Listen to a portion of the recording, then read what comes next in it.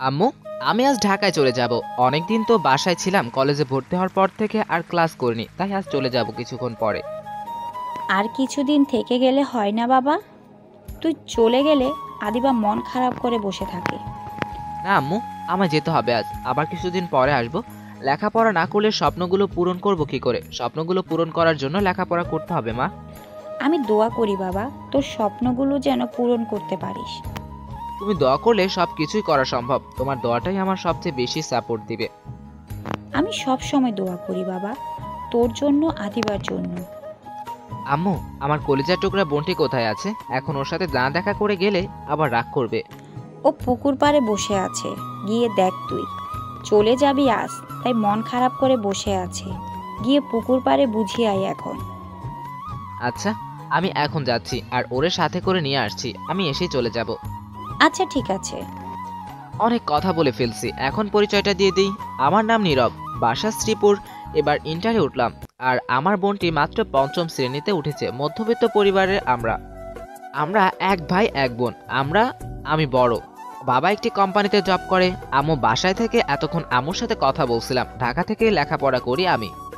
আমার পাগলি বোনটি আমায় ছাড়া কিছুই বোঝে না। খুব ভালোবাসে। আমিও খুব ভালোবাসি। আজ চলে যাচ্ছে, তাই এটা শুনে মন খারাপ করে বসে আছে। যাই গিয়ে একটু বাজিয়ে আসি, নিয়ে আসি। আপনাদের সাথে কথা বলতে বলতে চলে এলাম বোনটির কাছে। পাখরি বোনটি দুই গালে হাত দিয়ে বসে আছে। এক ধ্যান ধরে কোথায় যেন চেয়ে আছে। তা দেখে পিছন দিয়ে গিয়ে কোলে নিলাম। দাঁড়া, মাত্র বলতে লাগল। এই, কে আপনি? ছাড়ে আমায়? অসভ্য ছেলে। মেয়ে মানুষ দেখলেই খালি হাত ধরা, তাই না? আমি পুলিশের কাছে কেস করব। তো কি কেস করবি শুনি? বলব পুলিশ স্যার আমার ভাইয়াকে আমাদের বাসায় সারা জীবনের জন্য জেল দিয়ে দেন। আমায় ছেড়ে চলে যায় একটুও ভালোবাসেন আমায়। এই পাগলি কাঁদিস কেন? আমি কি সারা জীবনের জন্য চলে যাচ্ছি? আমি আবার আসব। আর আমি আমার এই পাগলি বোনটিকে খুব ভালোবাসি। আমি কি থাকতে পারব এই পাগলিটাকে ছাড়া? যেও না ভাইয়া তুমি চলে গেলে আর ভালো লাগে না। কেউ আর রাতে ঘুম থেকে তুলে ফুচকা দেয় না। সকালে আমার বালিশের কাছে কেউ চকলেট রাখে না। কেউ বারবার পাগলি বলে ডাকে না। আমি তাড়াতাড়ি চলে আসব আর আসার সময় অনেকগুলো চকলেট নিয়ে আসব। তুই কাঁদলে আমি কীভাবে থাকব? আমি কীভাবে যাব? ঢাকা আমার তো কি কষ্ট হয় এই পাগলি বোনটিকে ছাড়া যেতে? আমার পাগলি বোনটি কি আমার যেতে দিবে? আচ্ছা কাঁদবো না। আসার সময় চকলেট নিয়ে আসবা। আর এখন আমার চকলেট দাও তাহলে যেতে দিব আমি। আমি জানি আমার বোনটি আমায় যেতে দিবে আর আমি চকলেট নিয়ে আসছি। এই যে এখানে এক বক্স চকলেট আছে আর ফুচকাগুলোর মামার সাথে কথা বলে আসছি। তুই যখন যাবি ফুচকা দিবে টাকা লাগবে না। আমার লক্ষ্মী ভাইয়া চলো বাসায় যাই এখন। চল পাগলি। চকলেট পেয়ে অনেক খুশি। চকলেট আগেই কিনে রেখেছিলাম আসার সময়। নিয়ে আসলাম। জানি নয়তো রাগ ভাঙাতে পারব না। তারপরে বাসায় চলে আসলাম। বাসায় ঢুকতে আদিবা আমার পিতৃবোন বলতে লাগল। কোথায় নীরবের আব্বু আম্মু? এই দেখো তোমার শয়তান পোলা আমার রাগ ভাঙিয়ে ফেলেছে। ওই আমার মা হলে তোর কি লাগে হুম? এমন করে ডাকছিস? কেন মা বলে ডাক? ডাকবো না তো কি করব। আমার ছেলেকে আর আমার মেয়েকে? বলছি তোর কি? তুই চুপ থাক। তোর মেয়ে হলে আবার কি করে তুই তাদের মেয়ে? আমাদের কথার মাঝে আম্মু এসে বলল আমার আম্মুটা এসেছে? রাগ ভেঙেছে তাহলে? আর রাগ করে থাকতে পারলাম না। তোমার ছেলেটার সাথে শয়তানটা চকলেট দিয়ে সব রাগ মাটি করে দিয়েছে। যাক আমার আম্মুটা রাগ ভাঙাতে পারছে তাহলে আমার ছেলেটা। দেখেছিস? আমায় মা বলে ডাকছে। তাহলে কে কার মেয়ে হলো আমার? হয়েছে বুঝেছি কোন মেয়ে তোর। আমার ছেলেটা কোথায় এখন? তোর ছেলে অফিসে গিয়েছে। তারপরে আরও কিছুক্ষণ দুষ্টুমি করে ঘড়ির দিকে তাকিয়ে দেখি এগারোটা বাজে। তাই আম্মুকে বললাম আম্মু চলে যাই। এখন আরেকটু পরে গেলে জ্যামে পড়ে যাব। রাত হয়ে যাবে। দুপুরে খাবার খেয়ে যাস। না আম্মু একেবারে ঢাকায় গিয়ে খাব। তারপর ব্যাগ নিয়ে বাসা থেকে বের হব। তখন বোনটি বলল আমায় বলল আম্মু চলো আমরা ভাইকে বাজার পর্যন্ত এগিয়ে দিয়ে আসি। না থাক কষ্ট করে এত দূর যাওয়া লাগবে না। বাসায় থাকো তোমরা। না আমি যাব। এগিয়ে দিয়ে আসব। দিয়ে আমায় তোর ব্যাগ আমি নিচ্ছি। না এটা তুই নিতে পারবি না। এমনি আয়। বাবা দিয়ে দেয় না। দিলে ছাড়বে না তোকে। তারপর আর কি করব? দিয়ে দিলাম ব্যাগ দেওয়ার পরে দেখলাম উঠাতে পারে না। তাই বললাম শক্তি নাই শরীরে একটু সে আমার ব্যাগ নিতে যাচ্ছে। উঠাতেই পারে না। ইস কি ভারী। এত কিছু তো মানুষ তার শ্বশুরবাড়িতেও নিয়ে যায় না। এটার ভিতর ভারী জিনিসগুলো ফেলে আমায় দে। থাক তোর নেওয়া লাগবে না আমায় দে। আমার ব্যাগ তুই আরও বড় হয়ে নে এখন ছোট তুই। কে বলছে? আমি ছোট আমি তোর চেয়েও বড়। আমার একটা ছেলে আর একটা মেয়ে আছে। তা দেখতেই পারছি একটা ব্যাগ উঠাতে পারে না আবার আমার চেয়ে বড়। তোদের ঝগড়া থামাতো চল এখন দেরি হয়ে যাচ্ছে। তারপরে বোনটা ব্যাগ মাথায় নিয়ে সামনে দিয়ে হেঁটে যাচ্ছে। আমার কতবার বললাম ব্যাগটা দিতে। আমায় দিলই না। আর আব্বুর থেকে সকালে বিদায় নিয়েছি কারণ আব্বু অফিসে যায়। তাই সকালে বিদায় নিয়েছি। তারপর বাজার পর্যন্ত এসে আম্মু বলল বাবা দেখে যাস।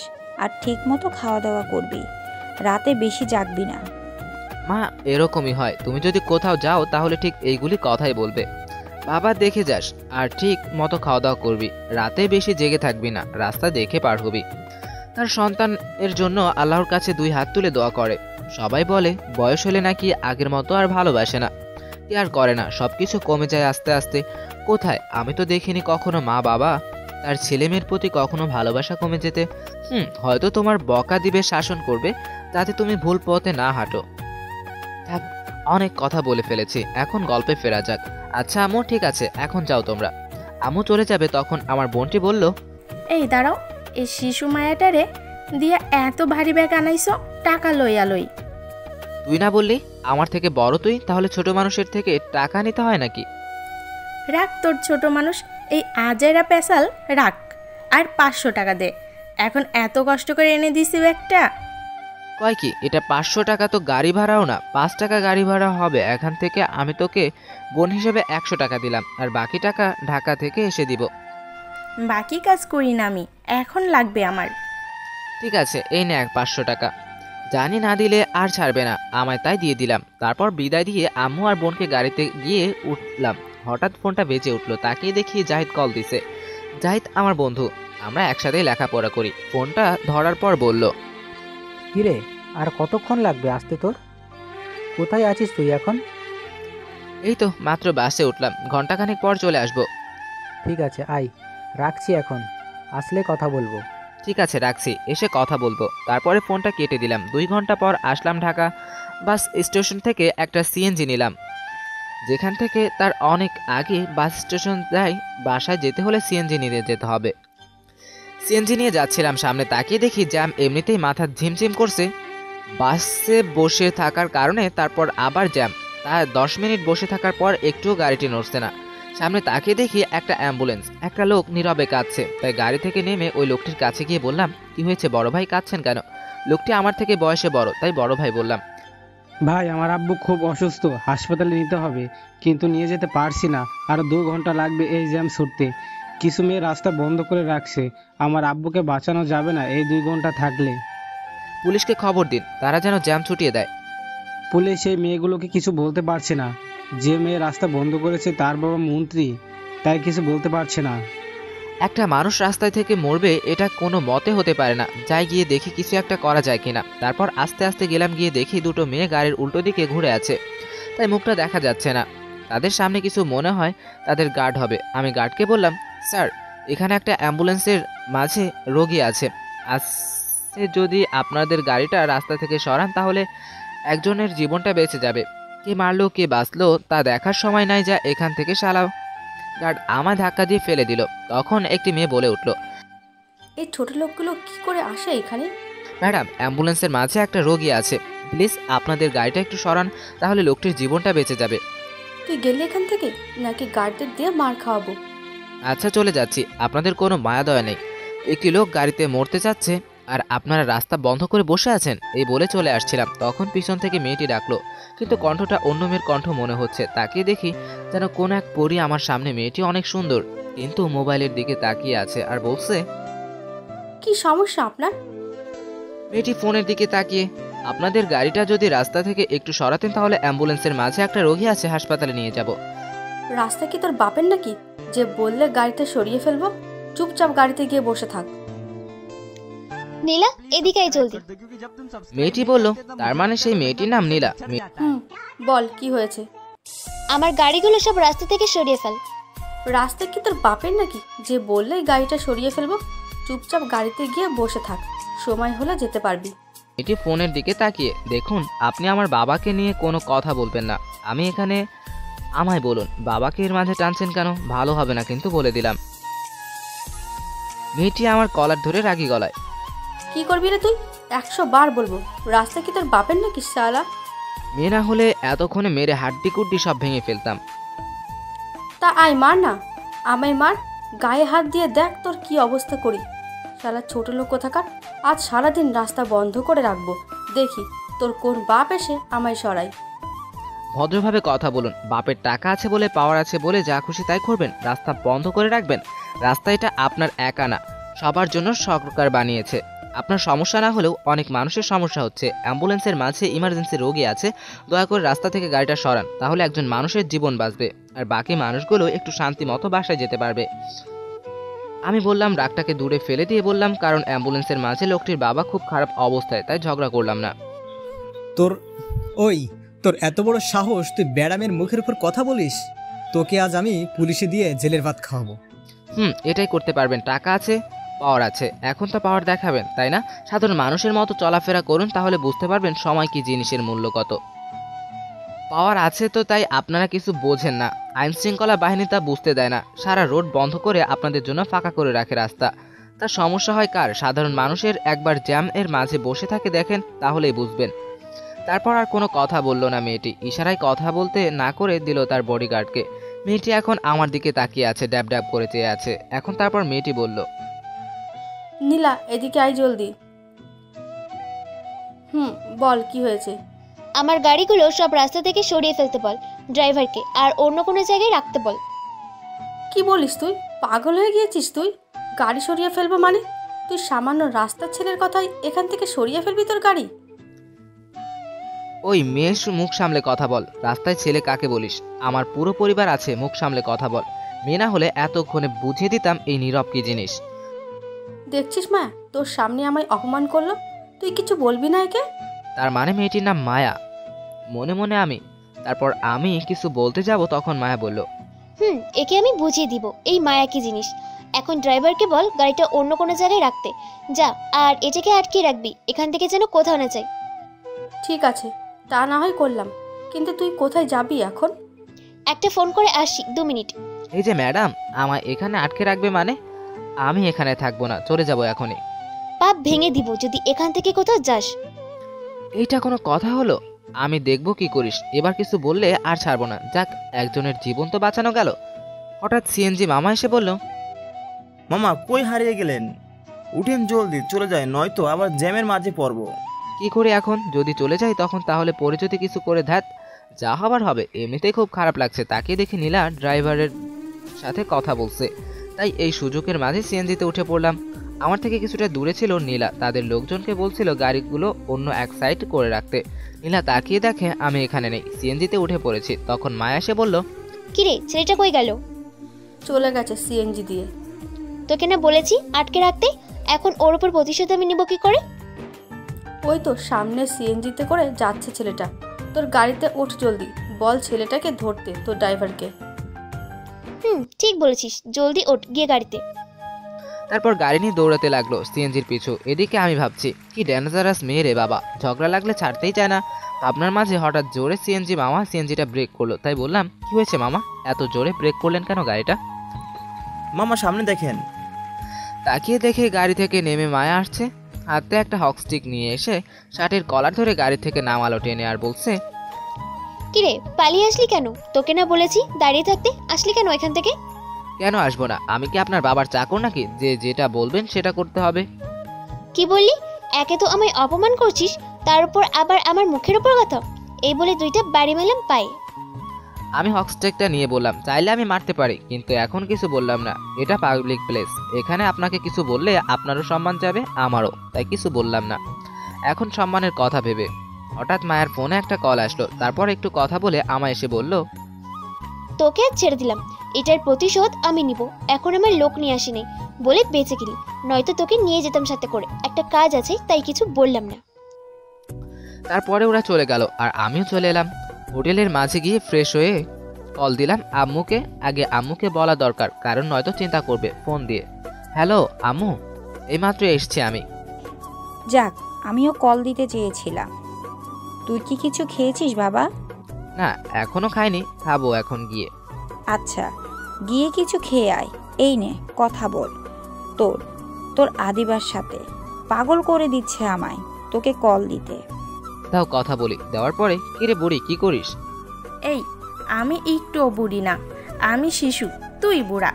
কে বলছে তুই শিশু? তুই তো বুড়ি। তুই বুড়া। তুই বুড়ি। আমি না তুই বুড়া তুই বুড়ি। তুই বুড়ি। আম্মু তোমার পোলার সাথে পারি না কথা বলে এই বলে ফোনটা আম্মুর কাছে দিয়ে চলে গেল। তারপর আরও কিছুক্ষণ বাসায় কথা বলে কেটে দিলাম। বাইরে থেকে কিছু খেয়ে এসে দেখি জাহিদ এসছে। আমি আর জাহিদ একসাথেই থাকি। তাহলে এসেছিস? আমি তো মনে করেছি আর আসবি না তুই। এত দেরি হলো কেন আসতে তোর? আর বলিস না রাস্তায় একটা মেয়ের সাথে ঝগড়া লেগেছিল তাই একটু লেট হয়েছে। তা কি নিয়ে ঝগড়া লাগলি বল।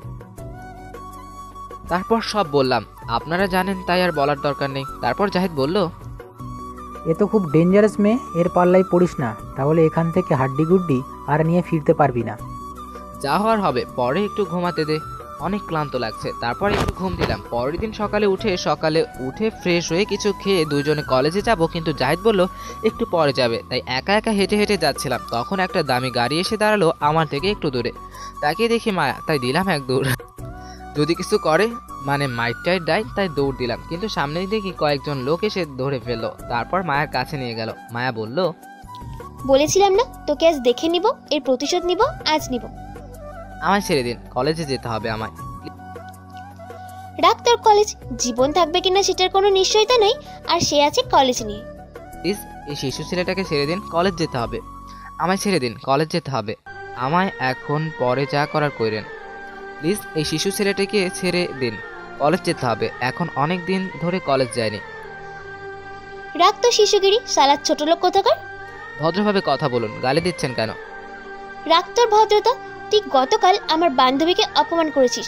আমিও তুই অনেক কথা বলেছিস। তোকে আজ আর ছাড়বো না তোর হাড্ডি গুড্ডি সব ভাঙবো। এই হাড্ডি কুড্ডি ভাঙবো সাহস থাকলে মেরে দেখান তো। কত সাহস দেখি আমি কি বসে থাকব নাকি? আমিও মারতে পারি। আমারও হাত আছে। তা আই মার দেখি কত সাহস। আই গায়ে হাত দিয়ে দেখা তো দেখি তোর সাহস অনেক বেড়ে গেছে। তুই আমায় এখনও চিনতে পারিস নাই। এই মায়ের সামনে কেউ দাঁড়িয়ে কথা বলতে পারে না।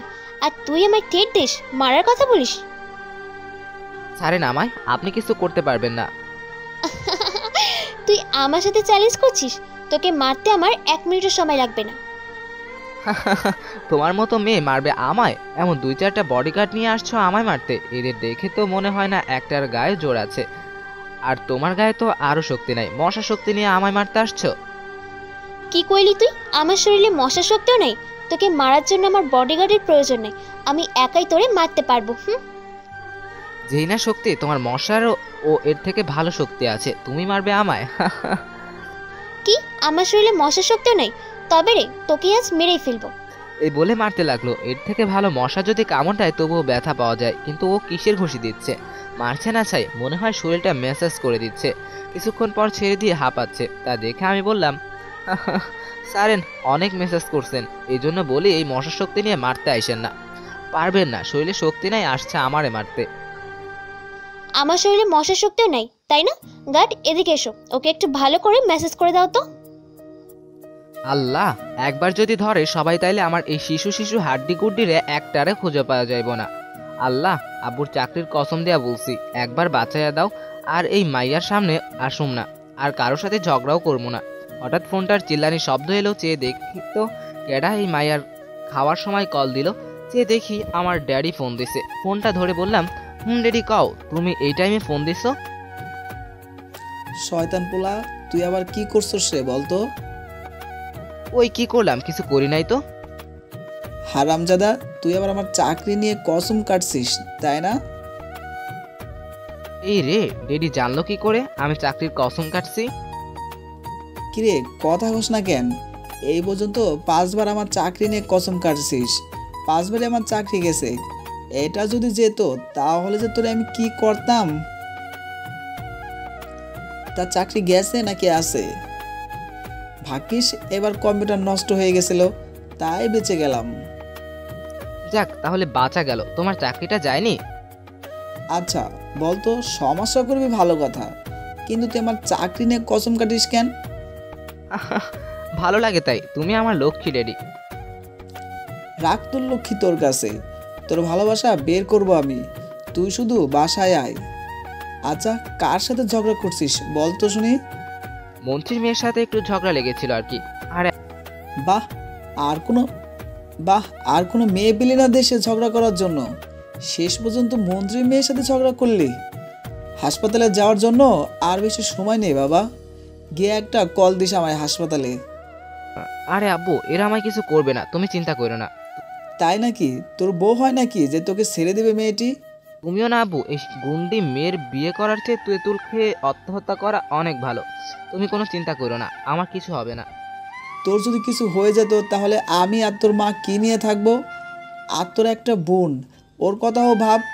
শোন বাবা তুই ভালো করে লেখাপড়া কর কারোর সাথে ঝগড়া করিস না। আর মেয়েটির কাছে দে তো আমি বলে দেই যেন তোকে কিছু না বলে। তুমি চিন্তা করো না আমি আর শয়তানি করব না। আর কারোর সাথে আমি বিনা কারণে ঝগড়াও করি না। তুমি যেন তুমি তো জানো। আর তোমার কথা বলতে হবে না। আমি কথা বলে মিটমাট করে নিচ্ছি। ঠিক আছে এই বলে ফোনটা কেটে দিল। তখন মায়া বলছে এখন কোথায় যাবি? তোকে আজ আর কেউ বাঁচাতে পারবে না। তার আগে আমি আর কিছু মাইরে নি শরীরটা জ্যাম হয়ে গেছে। তোরে মাইরা একটু জ্যাম ছুটাই। যখন হকস্টিক দিয়ে মারতে যাবে তখনই আমি হাতটি ধরে ফেললাম। মায়ের ধরে গাড়িটার সাথে চেপে ধরলাম। ঠোঁটটাকে নিজের দখলে নিয়ে নিলাম। পাঁচ মিনিট কিস করে ছেড়ে দেওয়ার পরে ধূপ করে মাটিতে বসে পড়ল। তখন আমি বললাম কি মারবে না আমায়? মারো দেখি কত সাহস। ছোট লোকের বাচ্চা? গালিটা শুনে প্রচণ্ড রাগ উঠে গিয়েছিল। তখন মায়াকে ঠাস ঠাস করে দুইটা চর দিয়ে বললাম মুখ সামলে কথা বলো। হুম আমি ছোট লোক হতে পারি কিন্তু আমার বাবা না। তুই আমায় যত কথা বলতে পারিস বল কিন্তু আমার বাবাকে নিয়ে কোনো কথা বলবি না। আর হ্যাঁ আমরা গরিব হতে পারি কিন্তু আমার জন্য সব সময় বড়লোক তিন হচ্ছেন আমার বাবা, তুই আমায় নিয়ে বল, যত খুশি পারিস, আমার বাবাকে নিয়ে কোনো কথা বলবি না। তারপরে মায়া তার গার্ডদের মারতে বলে চলে গেল। গাড়ি দিয়ে আমায় মারার সময় অনেক মানুষ দেখছে। দাঁড়িয়ে দাঁড়িয়ে, কারণ রাস্তায় ছিলাম। মার খেতে খেতে এক পর্যায়ে অজ্ঞান হয়ে গেছে। সেখান থেকে জাহিদ খবর পেয়ে হাসপাতালে নিয়ে আসছে। যখন জ্ঞান ফিরল, তাকে দেখে জাহিদ বসে আছে। আমি কিছু বলার আগেই জাহিদ বলল, শোন ভাই, আমি সব জানি। তুই যার সাথে ঝগড়া করছিলি, সেই মেয়েটি সামনে কেউ গলা উঁচু করে কথা তো বলে দূরের কথা। সামনে গিয়ে কথা বলতে পারে না। কারণ ও হচ্ছে মন্ত্রীর মেয়ে অনেক পাওয়ার আছে। তোকে যদি মেরে লাশ ফেলে দিত তাহলেও কেউ কিছু বলতে পারবে না। এখন বলতো কি নিয়ে ঝগড়া শুরু হয়েছিল তোদের? তারপরে সব খুলে বললাম জাহিদকে আমি তো এমনি ঝগড়া করি নাই। কথায় কথায় বাবাকে নিয়ে কথা বলে গালি দেয়। তাই রাগ হয়ে গিয়েছিল। দুইটা চট দিয়েছিলাম। তারপরে বাকিটা তো তুই জানোস হাসপাতালে আছি। শোন তোকে এখানে তোর বাবা মা লেখাপড়া করার জন্য পাঠিয়েছে। এখানে কেন আসছিস তুই? তোর যেন স্বপ্নগুলো পূরণ করতে পারিস, লেখাপড়া করে। আজ যদি তোর বাবার কিছু হয়ে যায়, তাহলে তোর মা বোনকে কে দেখবে? তোকেই তো তাদের সংসারের পুরো দায়িত্ব নিতে হবে। শোন, তুই যেমন মধ্যবিত্ত পরিবারের ছেলে, আমিও স্বপ্ন আছে অনেকগুলো, তাই এই শহরে এসছি। যাতে পড়ালেখা পূরণ, পড়ালেখা করে পূরণ করতে পারি। ওরা বড়লোক বাবার মেয়ে, ওদের স্বপ্ন পূরণ করতে দুই মিনিটের ব্যাপার। আর একটা কথা বড়লোক মানুষগুলো মধ্যবিত্ত পরিবারগুলোকে নিয়ে ব্যবহার করতে জানে কিন্তু ভালোবাসতে জানে না। প্রয়োজন মতো ব্যবহার করে ফেলে দিবে। মন দিয়ে পড়ালেখা কর। আচ্ছা ঠিক আছে। এখন থেকে আর লেখাপড়া ছাড়া অন্য কোনো দিকে মনোযোগ দিব না। স্বপ্নগুলো পূরণ করতে হবে। হুম মনে থাকে যেন। এইভাবে কেটে গেল দুই দিন। আজ একটু সুস্থ আছি তাই কলেজ যাচ্ছি।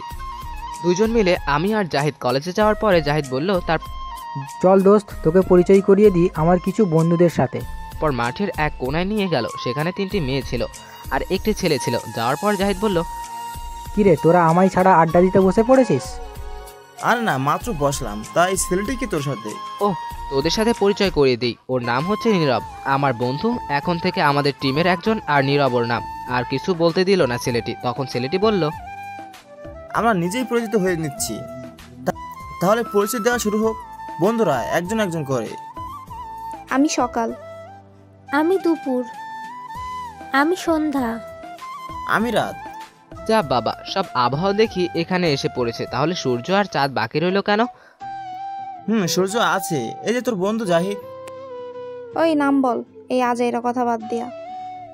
আচ্ছা আমি বলছি সকাল মানে সামিয়া ওর নাম আর দুপুর মানে রোদেলা ওর নাম আর সন্ধ্যা মানে সানজিদা ওর নাম। আর রাত মানে রাকিব ওর নাম। বাহ খুব সুন্দর করে মিলিয়েছিস। কথা বলছিলাম হঠাৎ একটা গাড়ির হর্ন শব্দ পেয়ে গেটের দিকে তাকালো সবাই। অনেক দামি একটা গাড়ি। তখন গাড়ি থেকে একটা ছেলে নামলো আর সাথে মায়া। আমি তো অবাক। দেখে তখন জাহিদকে বললাম কিরে মায়া এখানে কেন? আর সাথে ওই ছেলেটিকে? আমি জানি না রে তবে এই ছেলে এই কলেজে পড়ে। এখানকার এমপির ছেলে নাম আকাশ। প্রতিদিন র্যাগিং করে কথা না শুনলে এই কলেজ থেকে বের করে দেয়। এর থেকে একটু সাবধানে থাকিস দোস্ত। হুম আচ্ছা চেষ্টা করব। তারপর সামনে তাকিয়ে দেখি মায়া আমাদের দিকে আসছে। তারপর আমার সামনে এসে বলল কি খুব অবাক হলি তাই না? তোর জন্য আমার এই কলেজে আসতে হচ্ছে মানে? আমার জন্য মানে ঠিক বুঝলাম না। হুম তোর জন্য। আমার মা বাবা আজ পর্যন্ত আমার গায়ে হাত তোলেনি। আর তুই আমার গায়ে হাত তুলেছিস এর প্রতিশোধ আমি নিব। সরি ক্ষমা করে দিবেন। আমায় আমি ভুল করে হাত তুলেছি। আমি আর কখনো আপনার সামনে আসব না। তার বলতে হবে না। এখন মার খাওয়ার ভয়ে সরি বলছিস। তুই যত কিছু বলিস না কেন আমি এর প্রতিশোধ নিব। এই বলে চলে গেল মায়া। তারপরে আমরাও আর দাঁড়িয়ে না থেকে সবাই ক্লাসে চলে গেলাম। আমরা সবাই একই ক্লাসে পড়ি। তারপর সবগুলো ক্লাস করে বাসায় চলে এলাম। তারপরের দিন কলেজের গেট দিয়ে যেতেই দেখলাম সামনে আকাশ র্যাগিং করছে। তাদের এড়িয়ে চলে যাচ্ছিলাম তখন আমায় আকাশ দেখেই ডাকলো কাছে গিয়ে বললাম জি বলেন আমায় ডাকছিলেন? তোকে ছাড়া এইখানে আর কোনো ভিখারি দেখা যাচ্ছে না। নে ধর এই খাতাটা মায়াকে দিয়ে আয় জলদি। আচ্ছা দিয়ে আসছি। আমি কিছুই বলতে পারব না কারণ এখানে আর কোনো ঝগড়া করতে চাই না। লেখাপড়া করতে আসছি কিছু স্বপ্ন পূরণ করতে হবে তাই নিজেকে কন্ট্রোল রাখতে হবে। কারণ গরিব যেহেতু হয়েছি অপমান সহ্য করতে হবে। তারপর মায়াকে গিয়ে খাতাটা দিলাম। খাতাটা দেওয়ার পর খাতাটা উল্টে যেন কি একটা দেখে আমায় ঠাস ঠাস করে দুটি চর মেরে বলল ছোট লোকের বাচ্চা তোর কত বড় সাহস? তুই আমায় আই লাভ ইউ বলিস? এই বলে আর দুটো চর দিলাম।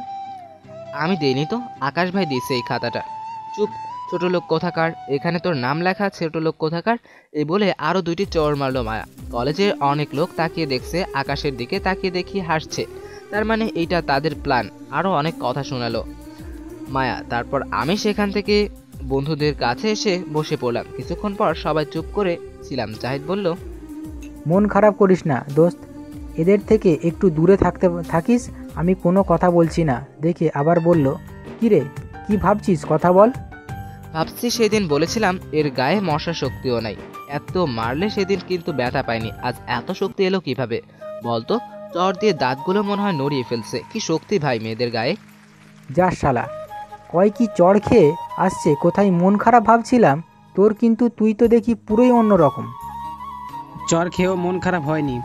তার মানে প্রেমে পড়েছে কি? তাই তো? এই মাইয়ার সাথে প্রেম করব আমি? যদি মরতেও হয় তবুও এই মাইয়ার সাথে প্রেম করব না। আচ্ছা চল ক্লাসে যাই। সময় হয়ে গেছে। তারপর সবাই মিলে ক্লাসে চলে গেলাম। সবগুলো ক্লাস করে বাসায় চলে এলাম। এইভাবে কেটে গেল দশ দিন। এই দশ দিন প্রতিদিন অত্যাচার করেছে মায়া আর আকাশ। ওহ আকাশ মায়ার ফ্রেন্ড একদিন কলেজ যাওয়ার পরে আকাশ ডাকলো। মাথা নিচু করে বললাম বলেন কি করতে হবে? এখান থেকে তোর একশো পা গুনে গুনে সোজা সামনে যাবি। যে মেয়েটি থাকবে সোজা কিস করবি গিয়ে যা। এটা আমি পারব না। আমায় অন্য যে কোনো শাস্তি দিন। মাথা পেতে নিব কিন্তু এটা আমি পারব না। যদি না পারিস তাহলে তোকে এই কলেজ থেকে বের করে দিব। আজ আর মেরে হাত পা সব ভেঙে দেব। ঠিক আছে আজ এই কলেজের শেষ দিন। আমার কারণ আমি জানি মায়া সামনে আছে। তারপরে গুনে গুনে একশো পা গুনে গেলাম সামনে তাকিয়ে দেখি মায়া। তারপর মায়াকে বললাম এই যে একটা কথা বলার ছিল। হুম কি বলবি বল? আমার দিকে তাকিয়ে বলল। তারপর একটা টান দিয়ে মায়াকে কাছে এনে ঠোঁটে কিস করলাম। দশ মিনিট পর ছেড়ে দিলাম দুজনেই হাঁপাচ্ছি। আমি চোখ দুটো বন্ধ করে রেখেছিলাম কারণ যদি এখন অনেক মারবে তাই। কিন্তু কয়েক মিনিট পার হয়ে গেল কিছুই বলছে না। তাকে দেখে মায়া এক দৃষ্টিতে তাকিয়ে আছে আমার দিকে। তখন আকাশ এসে বলল কিরে তোর কি হলো? একে মারিস না কেন? আমি মারবো তাহলে? থাক মারার দরকার নেই। আর কিছু বলার প্রয়োজন নেই। আমি সব ক্ষমা করে দিচ্ছি। মায়া আমায় বলল অনেক অবাক হলাম। কারণ তুই করে বলতো। সবসময় এখন তুমি করে বলছে। বুঝলাম না হঠাৎ কি হলো এই মেয়েটি। আমি আর দাঁড়িয়ে না থেকে চলে এলাম ক্লাসে। সবগুলো ক্লাস করে বাসায় চলে এলাম। এদিকে মায়া বাসায় যাওয়ার পর তার আম্মু বলল তোকে বলছি মারতে হবে না? তুই যা। আর তুমিও ক্লাসে যাও এখন। মায়া বিয়েতে যাবি না তুই? কিসের বিয়ে? কার বিয়েতে যাব আম্মু? সেই কি রে মা? তুই কি ভুলে গেছিস নাকি? তোর মামাতো বোনের বিয়ে আর চার দিন পরেই বিয়ে। মায়ের আব্বু উপর থেকে সিঁড়ি দিয়ে নামতে নামতে বলল ও আব্বু আমি ভুলেই গেছিলাম। আচ্ছা আমি আগামীকাল চলে যাব। আচ্ছা যাবি কিন্তু তোর উপর অনেক রাগ করে আছে সামিয়া। ও আপনাদের বলে রাখি মায়ের মামাতো বোনের নাম সামিয়া। তা- ওর রাগ আমি কীভাবে ভাঙানো যায় আমি জানি তুমি চিন্তা করো না। তারপর সন্ধ্যা গড়িয়ে রাত হলো। রাতে মায়া সাদে বসে সকালের কথাগুলো ভাবছে। কিস করা মাত্র সবকিছু ভুলে গেছে। তাহলে কি মায়া প্রেমে পড়ে গেছে? হঠাৎ মায়ের কাঁধে কারও হাতের ছোঁয়া পেয়ে তাকিয়ে দেখে তার আম্মু তখন। মায়ের আম্মু বলল কি রে মা এত রাতে ছাদে? এখনও ঘুমাসনি কেন? ঘুম সব কায়রা নিয়ে গেছে। শয়তান ছেলে কিস কইরা। কি রে কথা বল কিছু হয়েছে? না তেমন কিছু হয়নি। এমনি বসে আছি ভালো লাগছে না। তাই তুমি ছাদে আসলে যে এত রাতে? তোর রুমের সামনে দিয়ে আসছিলাম। দেখলাম তোর রুমের দরজাটা খোলা। তাই আসলাম। যা ঘুমিয়ে পর গিয়ে। অনেক রাত হয়েছে। সকালে এইদিকে আমি। আজ কলেজে যাব না ভালো লাগছে না। আজ কলেজে যেতে তাই একটু হাঁটতে বের হলাম। হাঁটছিলাম একা একা। কিছু দূরে যাওয়ার পর একটি মেয়ে পিছন থেকে বলে উঠল ভাইয়া একটু দাঁড়ান। আপনার সাথে কিছু কথা আছে। বলেন কি কথা? কোথায় যাচ্ছেন এখন? না এমনি হাঁটতে বের হইছি। কি কথা বলেন সমস্যা নেই। চলুন তাহলে হাঁটতে হাঁটতে বলা যাক। হুম, চলুন তাহলে। আমার নাম লিমা। সেদিন আপনি জ্যামের মাঝে একটি অ্যাম্বুলেন্সের সামনে একটি ছেলের সাথে কথা বলছিলেন। মনে আছে? হুম মনে আছে। কেন কি হয়েছে? বল- ওই ছেলেটা ছিল আমার ভাই আর গাড়ির ভেতরে যে অসুস্থ ছিল তিনি ছিলেন আমার বাবা। আপনি সেদিন না থাকলে কি যে হতো? ধন্যবাদ ভাইয়া আপনাকে। ওয়েলকাম অন্য কেউ হলেও আমি এই কাজটি করতাম। আচ্ছা তুমি আমায় চিনলে কি করে? তুমি তো মনে হয় ছিলে না। আমি ছিলাম গাড়িটার ভেতরে গ্লাসের ভেতর থেকে দেখেছি। ওহ আচ্ছা তাহলে তুমিও ছিলে? তারপর কিছু বলতে যাব সামনে তাকিয়ে দেখি মায়া গাড়ির সামনে দাঁড়িয়ে আছে। হাতে একটা আপেল নিয়ে মায়ের চোখে চোখ পড়তেই আপেলটাকে এমনভাবে কামড় দিল মনে হয় কারোর প্রতি রেগে আছে। অনেক মায়ার সামনে দিয়ে যাচ্ছিলাম। একটু যেতেই আপেলটি আমার গায়ে ছুঁড়ে মারলো। আপেলটি গিয়ে মাথায় লাগল। আমার আমি মেয়েটিকে একটু দূরে দাঁড় করিয়ে আসলাম। মায়ের সামনে এসে বললাম কি হয়েছে? আপেলটি আমার শরীরে মারলেন কেন হুম? একশো বার মারবো হাজার বার মারবো। এখন বল ওই মেয়েটিকে তোর সাথে কেন হাঁটছে এই মেয়েটি যেই হোক না কেন তো আপনার কি? আমার অনেক কিছু। তোকে যেন আর না দেখি ওই মেয়েটির সাথে। আর কোনো মেয়ের সাথে কথা বলবি না। একশো বার কথা বলব তো আপনার কি? বলার সাথে সাথে দুই হাত দিয়ে গলায় চেপে ধরলো। মায়া আর বলল মেরে বালি চাপা দিয়ে দিব। যদি কোনো মেয়ের সাথে দেখি তোকে আরেকটা বার মুখে অন্য কোনো মেয়ের নাম নিবি না। একশো বার কথা বলব তো আপনার কি? বলার সাথে সাথে দুই হাত দিয়ে গলা চেপে ধরলো। মায়া আর বলল মেরে বালি চাপা দিয়ে দেব। যদি কোনো মেয়ের সাথে দেখি তোকে আরেকটা বার মুখে অন্য কোনো মেয়ের নাম নিবি না বলে দিলাম। কি গুন্ডি মেয়ে রে বাবা আমি যার সাথে মন চায় তার সাথে ঘুরবো কথা বলব। এর এত লাগছে কেন? কে জানে? এখন সুন্দর করে বাসে যাও। আর ভুলেও অন্য কোনো মেয়ের দিকে তাকাবে না। সোজা বাসে যাও। রাস্তায় কোনো জায়গায় দাঁড়াবে না। কেন? রাস্তায় দাঁড়ালে কি হবে? আর আপনি কে যে আমায় এত কিছু বলছেন? এত কথা বলিস কেন তুই? তোকে যেটা বললাম সেটা কর। আর আমি কে তোর সেটা সময় হলে জানতে পারবি। এখন যাবি নাকি গার্ড দিয়ে মার খাব ঠিক আছে যাচ্ছি। এই তো লক্ষ্মী ছেলে যাও। এই মাইয়ার হঠাৎ কি হলো? কে জানে? এর আগ দেখাচ্ছে এই আবার ভালোভাবে কথা বলছে। আমার উপর অধিকার দেখাচ্ছে কেন? থাক এটা নিয়ে পরে ভাবলেও হবে। এখন এখান থেকে চলে যাওয়াটাই ভালো। এ বলে লিমার কাছে যাচ্ছিলাম মেয়েটি দাঁড়িয়ে আছে আমার জন্য। বিদায় দিয়ে আসি। তখন মায়া দেখতে পেল আমি ওই মেয়েটির কাছে যাচ্ছি। তখন মায়া দৌড়ে এসে আমার শার্টের কলাটা ধরলো আর টানতে টানতে নিয়ে যাচ্ছে আর বলছে তোরে না বললাম ওই মাইয়ের কাছে যাবি না? বাসে যেতে বলেছি না আমি তোরে? তারপরও তুই আবার ওইখানে যাচ্ছিস কেন? আরে আপনি যেমনটা ভাবছেন আর কিছু বলতে দিল না মায়া। আমি এত কিছু শুনতে চাই না। তুই সোজা এখন বাসে যাবি। আর যা যা বললাম মনে রাখবি। নয়তো আমার থেকে খারাপ আর কেউ হবে না। তোকে মেরে ফেলব, যদি অন্য কোনো মেয়ের সাথে দেখি। বাসায় যা সোজা এখন। আচ্ছা যাচ্ছি। বুঝলাম না কি হলো এই মাইয়ার হঠাৎ। ঝগড়া করব না বলে কিছু বললাম না এখন। দাঁড়ান, আগে কিছু বকা দিয়ে লই। আজ আর হাঁটতে পারলাম এর জন্য। শয়তান মাইয়া, গুন্ডি মাইয়া, ফাজিল মাইয়া। আপনারা আবার গিয়া বইলা দিয়েন না। কিন্তু আমি যে মনে মনে বকা দিছি তারপরে বাসায় চলে এলাম। বাসায় এসে ফ্রেশ হয়ে কিছু খেয়ে আমুর সাথে আর বোনের সাথে কথা বলে কিছুক্ষণ তারপর সাদে গিয়ে একটা চেয়ার নিয়ে ফেসবুকের মাঝে গেলাম। অনেক দিন ধরে ফেসবুকে ঢোকা হয়নি। এদিকে মায়া বাসায় যাওয়ার পর মায়ের আব্বু বলল কি হয়েছে? আমার মিষ্টি গুন্ডি মেয়েটিকে রাগি দেখাচ্ছে কেন এত? আব্বু তুমিও শুরু করলে মায়ের মতো গুন্ডি বলা। তাহলে কি বলব তাকে? আচ্ছা তুই কাদের কিডন্যাপ করেছিস বল তো। কোথায়? আমি তো কাউকে কিডন্যাপ করিনি। তুই আমার সাথে মিথ্যা কথা বলছিস, এই দেখ। ফোনে ছবি দেখিয়ে ছবিগুলো হচ্ছে আমার কলেজের এক তিন বান্ধবীর। আপনারা তো চেনেন, তাই আর কিছু বলা লাগবে না। এই তিনটি মেয়েকে তুই কিডন্যাপ করেছিস কেন? এখন বল, কিসের জন্য কিডন্যাপ করেছিস? হুম, করেছি। ওদের কত সাহস। আমার জিনিসের দিকে চোখ দেয়। আমার জানটার সাথে ঘোরে। ওদেরকে আমি না করে দিয়েছিলাম, যাতে ওর সাথে না মেশে। কিন্তু আমার কথা শোনে নাই। আমি কিডন্যাপ করেছি। একটু মেরে সোজা করব। বাবারে বাবা তুই তো দেখি তোর মায়ের থেকে বেশি ডেঞ্জারাস তাই তো বলি তোর মা তোরে গুন্ডি মেয়ে বলে কেন? আজ বুঝলাম। আম্মু কি এমন আমার মতো ছিল আব্বু? কি করেছিল বলো একটু আব্বু? বলো না প্লিজ আচ্ছা বলছি তবে একটু বলব। হুম বলো। আমি যখন মন্ত্রী ছিলাম না তখন তোর আম্মুর সাথে প্রেম করতাম।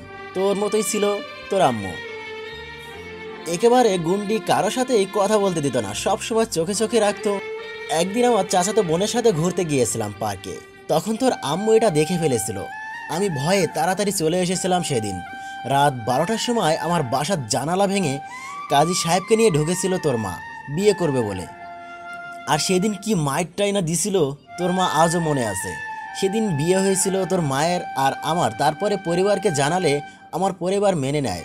যখন মন্ত্রী হয়েছি, তখন একদিন আমি একটা অনুষ্ঠানে গিয়েছিলাম। সাথে কিছু মেয়ে সিকিউরিটি নিয়ে সেদিন সাংবাদিকরা লাইভ দেখাচ্ছিল টিভিতে আমায়। আমি শুধু হেসে হেসে কথা বলছিলাম মেয়েদের সাথে। বাসায় আসার পর যুদ্ধ লেগে গিয়েছিল। তোর মা সেই যুদ্ধে কেউ আহত হয়নি, নিহত হয়নি, কিন্তু সারাদিন না খাইয়ে রাখছিল। তারপরে এক বছর পর তোর ভাই এসেছে এই পৃথিবীতে। তারপরে আসছিস তুই এই পৃথিবীতে, কিন্তু তুই হয়েছিস তোর মায়ের মতো এবং তোর মায়ের চেয়েও ডেঞ্জারাস বেশি। তোমায় ভালোই আম্মু শাসন করেছে তোমায়। আর বলিস না একেবারে গুন্ডি ছিল কিন্তু তোর সে একটু কম ছিল তোর মা। তুই তো তোর মাকে ছাড়িয়ে গেলি। দেখতে হবে না কার মেয়েটা। আর এই মেয়েগুলো হচ্ছে নীরবের বন্ধু। অন্য আর কিছু না আমি ছেড়ে দিতে বলেছি ওদেরকে কারণ ক্লাস আছে তাদের। বন্ধু থাকার যাই থাক আমার জিনিসের দিকে কাউকে তাকাতে দিব না। কেউ তাকালে তার খবর করে ছাড়বো। তুমি ছেড়ে দিচ্ছ কেন? থাক এই কথা এখন বল। তুই যে ওকে ভালোবাসিস বলেছিস এটা ওকে? না বলি নাই এখনও বলব।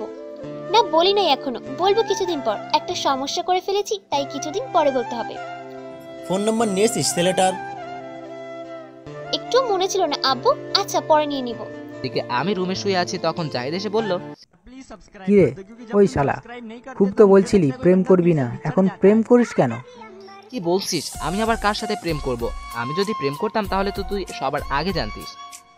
দেখ মিথ্যা বলবি না। আমি জানি তুই মায়ার সাথে প্রেম করিস।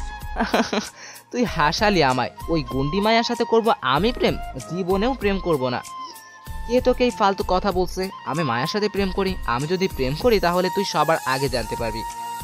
তাহলে মায়া যে বলল ভালোবাসে আর আজ সামিয়া আর বাকি দুইজনের সাথে কিডন্যাপ করেছিল মায়া সকালে আর বলছে তোর আশেপাশে যেন ওদের না দেখে। কি বলছিস তুই? ওদের কিডন্যাপ করেছে? ওরা এখন কোথায় আছে? কলেজে আছে। এখন ওরা আমি এটা শুনে কলেজ থেকে চলে আসছি তাকে বলতে। ওই মায়া যত কিছু করুক না কে আমি ওর সাথে কখনো প্রেম করব না। আর তুই তো জানিস আমি এই ধরনের মেয়ে পছন্দ করি না। সারাদিন শার্ট প্যান্ট পরে থাকে। আচ্ছা থাক এই কথা এখন। কিছু রান্না করেছিস? ওহ আমরা কিন্তু ব্যাচেলার রুম নিয়ে থাকছি তাই রান্না আমাদের করে নিতে হয়। আমি করব রান্না। জীবনে একটা ডিম ভাজি ছাড়া আর কিছু রান্না করতে পারি না। তুই এটা জানিস না? শালা জীবনটা পুরো তেজপাতা বানায় ফেললি। রান্নাটাও করতে পারিস না। থাক তুই আমি রান্না করছি। তার পরের দিন কলেজে গেলাম। যাওয়ার পরে সামিয়া ওরা একটাও কাছে আসছে না ভয়ে আমার থেকে। দূরে দূরে থাকছে অনেক কষ্টে। আমি আর জাহিদ সাহস নিয়ে আবার আড্ডা দিতে লাগলাম। কিন্তু আজ মায়াকে খুঁজে পেলাম না। কলেজ ছুটি হওয়ার পর বাসায় চলে এলাম। এদিকে মায়া তার মামাতো বোনের বিয়েতে গিয়েছে। তার মামাতো বোন সামিয়ার হাতে মেহেদি দিয়ে দিচ্ছিল। মায়া তখন কি জানি ভাবছিল। মায়া আর মেহেদি দিচ্ছিল। সামিয়া ডাকে হুশ ফিরল। মায়ার তখন সামিয়া বলল কি রে তুই এটা কি করলি আমার হাতে? কি করলাম আমি আবার? তুই এটা কার নাম লিখেছিস বলতো আমার হাতে? নীরব তো আমার বরের নাম না। এটা কার নাম লিখেছিস? ইস ভুল করে আমার জানটার নাম তোর হাতে লিখেছি। শয়তান মাইয়া এখন এটা আমি কি করে উঠাবো? মন কোথায় থাকে তোর? মন তো চুরি করে নিয়ে গেছে আমায় রেখে আর সারাদিন দেখতে পাইনি তাই ওর কথা মনে পড়ছে। বাবা তাহলে এখানে নিয়ে আসতি রেখে এলি কেন? এখনও ভালোবাসি এটা বলতে পারি নাই রে। কি বলিস? জলদি বলে ফেল গিয়ে। তোর ভালোবাসার কথা? এখন না বললে পরে দেখবি অন্য কেউ নিয়ে চলে গেছে। মেরে ফেলব যে আমার জিনিসের দিকে চোখ দেয়। আমি আজ আমার গার্ডদের পাঠিয়েছি সবসময় নজর রাখতে। কি করে? আচ্ছা চল গিয়ে কিছু খেয়ে আসি। না রে তুই গিয়ে খেয়ে নে আমার এখন যাবে না সব কেড়ে নিয়েছে শয়তানটা। আচ্ছা থাক তুই আমি খেয়ে আসি। এইভাবে কেটে গেল দুই দিন। আমি এই দুই দিন আমার বন্ধু সামিয়াকে নিয়ে অনেক ঘুরে ফেরা করেছি। মায়াকে দেখাবো বলে কিন্তু মায়াকে দেখতে পেলাম না। আজ তৃতীয় দিন।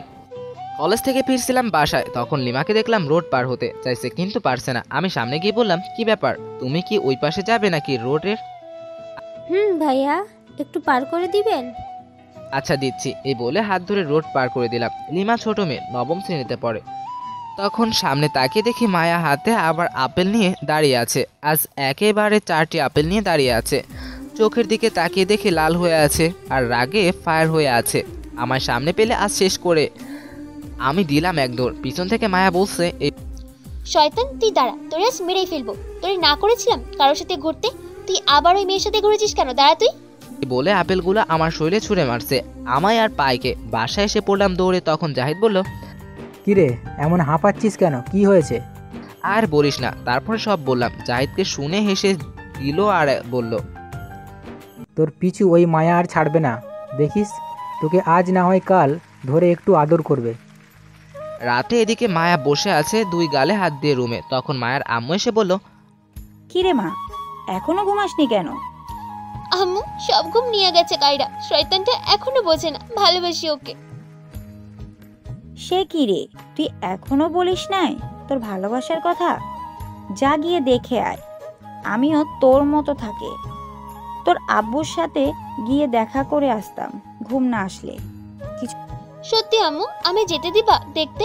কিন্তু আমায় কি এত রাতে হোটেলে ঢুকতে দিবে দারুণ? তো গার্ড নিয়ে যা আর বলবি তুই গিয়ে তোর আব্বুর কথা বলবি তাহলে যেতে দিবে। তারপরে মায়া বাসা থেকে বেরিয়ে পড়ল কিছুক্ষণ পরে এসে পৌঁছে গেল হোটেলের মাঝে। এদিকে আমি ঘুমিয়ে পড়ছিলাম। হঠাৎ কারও কলিং বেলের শব্দে এলো। তখন জাহিদকে বললাম জাহিদ উঠে দেখতো কে এত রাতে এসছে? তুই গিয়ে দেখ যা আমি পারব না। কি হয়েছে? এত রাতে এইভাবে কলিং বেল বাজাচ্ছেন কেন? একটু ঘুমাচ্ছিলাম। তখন ধাক্কা দিয়ে ফেলে দিল কে জানে। আমি তাকিয়ে দেখে মায়া হাতে একটা হক স্টিক একটা করে শরীরে মারছে আর বলতে লাগল শয়তান বান্দর হনুমান তুই আমার মন কেড়ে নিয়েছিস রাতের ঘুম কেড়ে নিয়েছিস। এখন খাবারটাও ঠিকমতো খেতে পাচ্ছি না তোর জন্য। জাহিদ উঠে দেখতো কে এত রাতে এসছে। কলিং বেল বাজতে আছে আর থাকতে পারলাম না। ঘুমিয়ে ঘুম ঘুম চোখে গিয়ে দরজাটা খুলে বললাম কলিং বেল বাজতেই আছে। আর থাকতে পারলাম না ঘুমিয়ে। ঘুম ঘুম চোখে গিয়ে দরজাটা খুলে বললাম, কি হয়েছে? এত রাতে এইভাবে কলিং বেল বাজাচ্ছেন কেন? একটু ঘুমাচ্ছিলাম শান্তি মতো। তখন ধাক্কা দিয়ে ফেলে দিল আমায় কেউ একজন, তাকিয়ে দেখে মায়া। হাতে একটা হকস্টিক আমি কিছু বলার আগেই মারতে লাগল, আর বলতে লাগল মায়া। শয়তান বান্দর হনুমান, তুই আমার মন কেড়ে নিয়েছিস, কিছু বলি নাই। রাতের ঘুম কেড়ে নিয়েছিস, কিছু বলি নাই। এখন খাবারটা ঠিক মতো খেতে পাচ্ছি না। তোর জন্য আর তুই এখানে শান্তি মতো ঘুমাচ্ছিস? আমার দু চোখের ঘুম হারাম করে। আরে থামেন না মেরে বললেন। এত রাতে আপনি এখানে আসছেন কেন? আমার ঘুম আসছে না তাই। হ্যাঁ কি কন ঘুম আসছে না তাহলে আমি কি করব? আর এখানে আসছেন কেন বাসায় যান? না যাব না। তোরই না করে দিয়েছিলাম কোনো মেয়ের সাথে কথা বলতে। তাও তুই আবার মেয়েদের সাথে কথা বলেছিস। আবার ঘুরতেও গিয়েছিলি। সকালে ওই মেয়েটির হাত ধরে হাঁটছিলি। কেন? তোরে আজ মেরেই ফেলব আমি। আচ্ছা আমি যার সাথে মন চাই ঘুরবো তা আপনার কি হুম? আপনি কি? এত কিছু বলার? না তুই যার সাথে মন চাই ঘুরতে পারবি না। কেন ঘুরতে পারব না? মায়া থামি দিয়ে দিল হকস্টিক দিয়ে মারা তখন বলল। কারণ আমি অন্য কোনো মেয়ের সাথে দেখলে তোকে সহ্য করতে পারি না একদম। তা আমি কি করব? আমায় বলছেন কেন এসব? মায়া আমাকে খাটে বসে হাঁটু গেড়ে বলল। তুমি বোঝো না কেন আমি তোমায় ভালোবাসি আমি ভালোবাসো। কি বলছেন আপনি? পাগল হয়ে গেছেন? হুম সত্যি আমি তোমায় ভালোবাসি। আর তোমার উপর অনেক অত্যাচার করেছি। ক্ষমা করে দাও প্লিজ। আরে আমি কিছু মনে করিনি। আর ক্ষমা অনেক আগেই করে দিয়েছি। আর আমি আপনাকে ভালোবাসি না আর ভালোবাসতেও পারব না। কেন? আমায় ভালোবাসতে পারবে না? আমি কি দেখতে খারাপ? কি নেই আমার মাঝে বলো? না, আপনি দেখতে একদম পরীর মতো সুন্দর। আপনার প্রেমে যে কোনো ছেলে পড়বে, কিন্তু আপনার সাথে আমার যায় না। আপনারা অনেক বড় লোক, আর আমি সাধারণ মধ্যবিত্ত পরিবারের ছেলে। এটা কোনো দিনও হতে পারে না। আপনি আপনার লেভেলের ছেলে খুঁজুন। আমার মতো গরিবের পিছন পড়ে আছেন কেন? আমি এখানে এসেছি লেখাপড়া করার জন্য। লেখাপড়া করে ছোট ছোট কিছু স্বপ্ন বেঁধে রেখেছি। সেগুলো পূরণ করে সাজাবো। এই প্রেম ভালোবাসায় আমি এখন জড়াতে চাই না। তাই আমার পিছু শুধু সময় নষ্ট করবেন না। আমার চেয়ে অনেক ভালো ছেলে পাবেন আপনি। আমার অন্য কাউকে প্রয়োজন নেই শুধু তুমি হলেই হবে আমি তোমার সব স্বপ্ন পূরণ করে দিব। তবু আমায় বলো ভালোবাসবে? না তার কোনো প্রয়োজন নেই আমি নিজে আমার স্বপ্ন পূরণ করতে পারব প্লিজ আমায় জোর করো না আমি তোমায় ভালোবাসতে পারব না। তাহলে তুমি আমায় ভালোবাসবে না? না আমি পারব না। এবার শেষবারের মতো বলছি তাহলে ভালোবাসবে না আমায়। না আমি আপনাকে ভালোবাসতে পারব না এতক্ষণ ভালো করে বলছিলাম তুই কথা শুনলি না। এখন তোকে কীভাবে বলতে হয় তা আমি জানি। তারপর মায়া হকস্টিক নিয়ে আবার মারতে লাগল। ভালোবাসবি না মানে? তোকে ভালোবাসতে হবে। আই লাভ ইউ বল। এখন জলদি আমায়। আর বলতে লাগল না আমি বলব না। আই লাভ ইউ বল বলছি এখন? না বলব না আমি। তাহলে আই লাভ ইউ বলবি না তুই? হকস্টিক ফেলে দিয়ে মায়া রাগি গলায় বলল না বলব না। তারপর হকস্টিক ফেলে মায়া আমার বুকের উপর উঠে বসে গলায় দুই হাত দিয়ে চেপে ধরলো আর বলল আই লাভ ইউ বল কইতেছি। শালার এই মাইয়া ডেঞ্জারাস একটু না অনেকটাই গুন্ডি মাইয়া। তরে ভালোবাসবো জীবনেও না তরে ভালোবাসলে জীবনটা তেজপাতা হইয়া যাইব। আমি একবার বললাম তো বলব না আমি আপনাকে ভালোবাসি না। আমার মন কায়রা নিয়া এখন তোর মন দিবা না তার হবে না। দে তোর মন দে কই রাখছিস মন লুকায়া বল। মায়া আমার শার্টের বোতাম খুলে দেখতে লাগল না আমার মন দিব না আমি আপনাকে ভালোবাসি না। তুই ভালোবাসবি, তোর বাপ সব আসবে শয়তান বান্দর, প্রথম দিন কিস করেছিলি কেন তাহলে? আমার রাতের ঘুম কায়রা নিয়েছিস কেন? এই শিশু মন্ত্রে কেড়ে নিয়েছিস, এখন তোর মনটা দে, আমারে আর আমারটা নিয়েই ফেলেছিস। আই লাভ ইউ বল নয়তো মেরে ফেলব। মায়া আমার গলা চেপে ধরে বলল, এই মায়া, তুই খুব সাংঘাতিক, বাবারে, একটু না অনেকটাই ডেঞ্জারাস আল্লাহ, তুমি বাঁচাও। থাক, বাবার চাকরির কছম আর কাটতাম না। আমি মনে মনে বললাম, হঠাৎ জাহিদ বলে উঠল দোস্ত চল টিভিতে ডাব্লিউ খেলা চলছে। আমার খুব ভালো লাগে। চল দেখে আসি। শালায় ঘুমের মাঝেও ডাব্লু ডাব্লু মায়ের দেখে না জানি আর কত কিছু দেখে ঘুমের মাঝে। আমারে যদি মাইরাও ফেলে যায় তবুও মনে হয় না খোঁজ পাইবো। আমারে তো এই মায়া ডাব্লু ডাব্লু মায়ের এখানেই দিতেছে। তুই ভালো না বাসলেও আমি বেসেছি। এখন আই লাভ ইউ বলতে হবে। তারপরে মায়া আর কিছু বলতে যাবে তখন মায়ার একটি গার্ড এসে বলল ম্যাডাম আপনাদের এইখান থেকে এক্ষুনি চলে যেতে হবে। এই হোটেলে কিছু পুলিশ আসছে। কি জানি একটা খবর পেয়েছে তাই চলে যেতে হবে স্যার বলেছে। কিন্তু আমার তো যেতে মন চাইছে না। আচ্ছা ঠিক আছে চলো। ওই তুমি শোনো। আমায় বলল আমায় তো তোমাকে ভালোবাসতে হবে। সেটা আজ না হয় কাল আমি আমার ভালোবাসা ঠিক আদায় করে নিব। এই বলে চলে গেল মায়া। তারপর শুয়ে শুয়ে ভাবছি না আমি এর প্রেমে কখনোই পড়ব না। যা হওয়ার হোক লেখাপড়া করতে এসেছি যে স্বপ্নগুলো দেখেছি তা পূরণ করে নেই তারপরে ভাববো। ইস, কি মাইটাই না দিছে শয়তান মাইয়া। এই শিশু শিশু হাড্ডি কুড্ডি সব তেরা কইরা ফালাইছে। আরেকজন তো পরে ঘুমাচ্ছে, কোনো খোঁজ খবর নাই। এদিকে কি হচ্ছে? শালার একটুও ঘুম ভাঙলো না এতক্ষণে। একটু ঘুমাই, সকালে দেখে নিব এটারে সকালে উঠে দিলাম মায়ের কয়েকটা শালারে। সব বললাম তারপরে। এদিকে মায়া তার বাবা মায়ের সাথে বসে খাবার খাচ্ছে। তখন মায়া বলল, আব্বু, আম্মু, তোমাদের একটা কথা বলি। আমি কাকে ভালোবাসি, এটা তোমাদের কিছু বলিনি আমি। তবুও তোমরা না জেনে আমায় যেতে দিলে। এত রাতে বাসার বাইরের ছেলেটিকে অথচ তোমরা একটিবারও পরিচয় জানতে চাইলে না। যেতে দিলে, উল্টো আমায় সাহায্য করলে।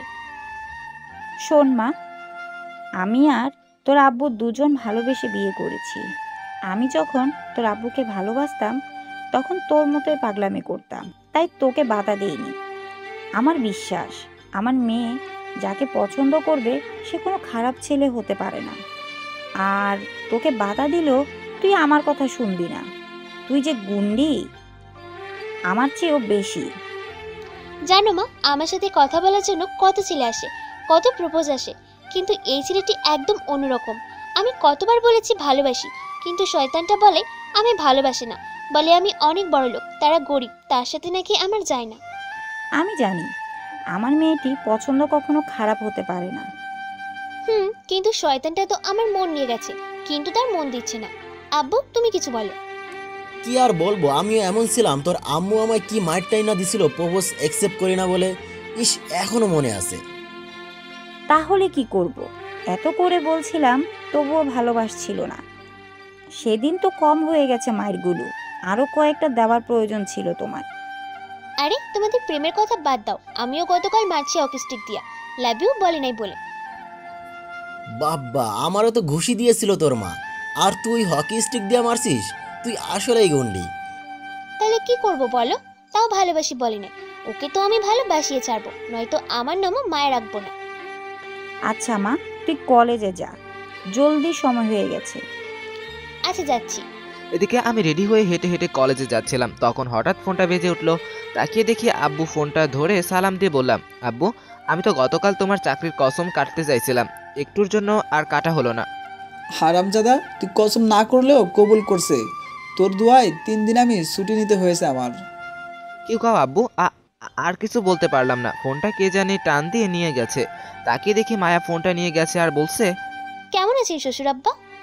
এই রে দিছে সর্বনাশ করে ফেলছে। আল্লাহ দড়ি ফালাও আর রক্ষা নাই। তারপরে মায়া যা বলল মনে হয় না আর এই পোলাটার এই শিশু শিশু হাড্ডি গুড্ডি থাকব। কি বললে? আবার বলো তো আমি মনে হয় ভুল শুনেছি। না শ্বশুর আব্বা আপনি ঠিক শুনেছেন। আমি আপনার ছেলের বউ তুমি কাকে বলছো? আমাকে বলছো মা এই কথা? ঠিক করে দেখে বলো মা। তুমি মনে হয় ভুল জায়গায় বলছো। আমি বিশ্বাস করতে পারছি না। জি আব্বা আমি ঠিক জায়গায় বলছি। আর আপনাকে বলছি দেখেন না আব্বা আপনার ছেলে আমাদের বিয়ের কথা বলতে চাইছে না। তাই আমি বলে দিলাম। তারপর ফোনটা কেটে দিয়ে মায়া বলল ইয়াহো দিসি কইয়া জামু তোর বউ হইয়া। আমার মন কাইরা নিয়া এখন তোমার মন দিবা না তাই না? এখন ডাইরেক্ট বউ হমু আমি। কি যে খুশি লাগছে আজ আমার শয়তান মাইয়া কোথাকার জীবনেও আমার বউ হতে পারবি না তুই। আমি তো তোমার বউ হয়েই ছাড়বো। আজ না হয় কাল আগে মনটা নিয়ে এলোই তারপরেই বউ হব। এই জীবনেও দিতাম না আমার মন। জীবনটা তামা তামা হইয়া গেলেও আমার মন দিব না হুম? দিবি না মানে না দিলে জোর করে নিমু তোর মন। জোর করলেও দিব না আমার মন। না তাহলে দিবি না তোর মন আমারে? দিব না। খারা তুই এখনই তোর মন দে আমারে কইতেছি। আমায় আর পায়কে দিলাম দৌড় পিছন থেকে মায়া বলল। তোর দিতেছিস কেন? দাঁড়া তোরে পরে ধরতে পারলে আর ছাড়বো না মন নিয়ে ছাড়বো। আমি দৌড়ে কলেজ গেটের সামনে এসে পড়লাম। কি ডেঞ্জারাস মেয়ে রে বাবা। না করলেও পিছু ছাড়তেই যায় না। এই মাইয়ারে বিয়া করলে জীবনটা তেজপাতা হয়ে যাইব। হঠাৎ আবার ফোনটা বেজে উঠল। তাকিয়ে দেখি আম্মু ফোন দিছে। এবার আর বাঁচার রাস্তা নাই। আম্মুর কানে খবর গেছে। আসলে আম্মুকে একটু ভয় পাই। ফোনটা ধরে সালাম দিয়ে বললাম আম্মু আমি কলেজে আছি পরে কথা বলব। ভাইয়া আমি আদিবা। ও তুই হুম বল কিসের জন্য ফোন করছিস? ভাইয়া আব্বুকে দেখলাম তোমায় যে লাঠি দিয়ে আগে মারতো সেই লাঠি আবারও বের করছে। কিছু করছ নাকি আবার ভাইয়া? ইস মানিজ্জত সব মাইরা লইছে সবার এখন শুনে ফেলছে। এই যে আপনারা কিন্তু শুনতে পারেননি এই কথা। না কিছু হয়নি তো আমি তো কিছু করি নাই। আমি জানি তুমি কিছু একটা করেছ। আচ্ছা থাক সেই কথা মায়ের দেওয়ার সময় শুনুম আর দেখুম। এখন যে কথা বলার জন্য তোমায় ফোন দিতে বলছে আম্মু আগামীকাল নীলিমা আপুর বিয়ে সন্ধ্যায় চলে আসবে তুমি। সত্যি বলছি নীলিমার বিয়ে কবে ঠিক হলো বিয়ে? হুম সত্যি বলছি তুমি যেদিন চলে গেছো তার পরের দিন।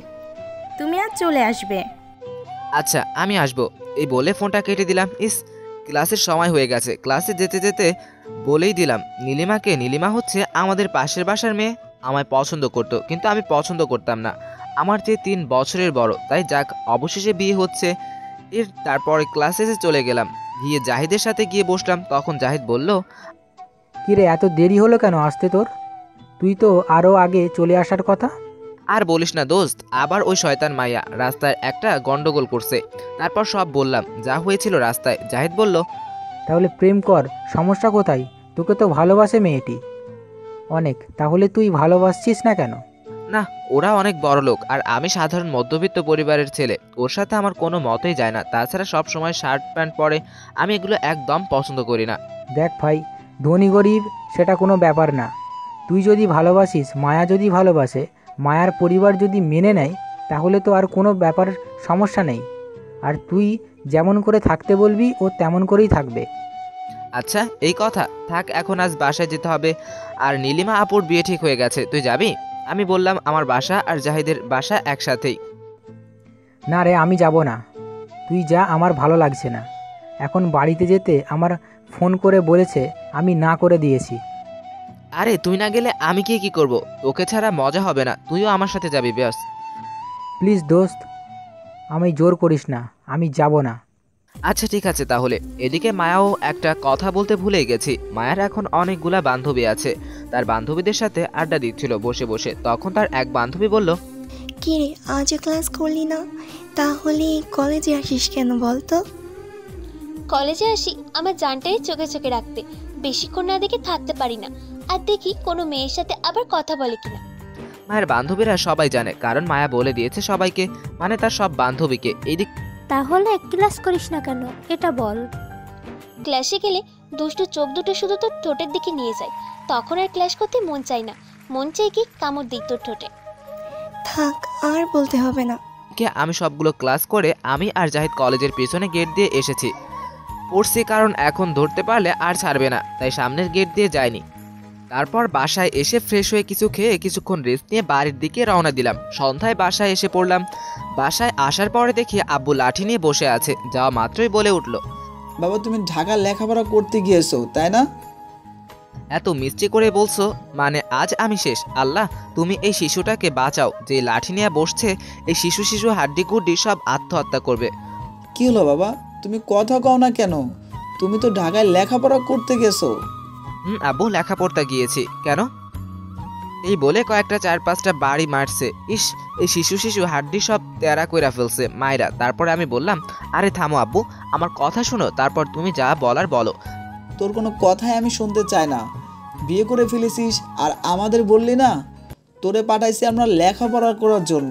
আর কি না তুই বিয়ে করে ফেলেছিস? আরে থামো ছেলেটা কি বলছে তুমি শোনো আগে। হুম আব্বু আগে শুনো। তারপরে না হয় মারিও। তারপর আমি বললাম কি কি হয়েছে? শুধু ঝগড়ার কথাগুলোই বলছি আর কিছু বলি নাই। ওই তুই এই কথা আগে বললি না কেন? যে তুই প্রতিশোধ নিতে বলছিস এই কথায় আমি আগে মনে করেছি তুই সত্যি সত্যি বিয়ে করে ফেলেছিস। বলার আর সময় দিলে কোথায়? এই শিশু শিশু হাড্ডি সব তেরা কইরা ফেলছো। মাইরা ইস কি শক্তি তোমার শরীরে।